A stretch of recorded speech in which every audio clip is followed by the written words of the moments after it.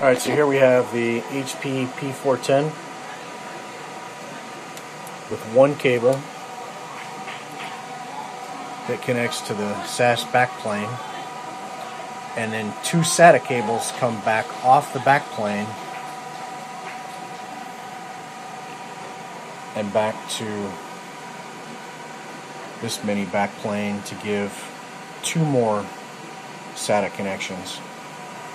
So we have a total of 14, 12 drives up front off the SAS, plus two more connected with SATA cables back to the SAS backplane that connects with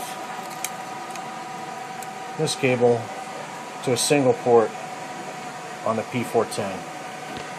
Now my question is, will this cable support 14 drives on an IBM ServeRAID 1015.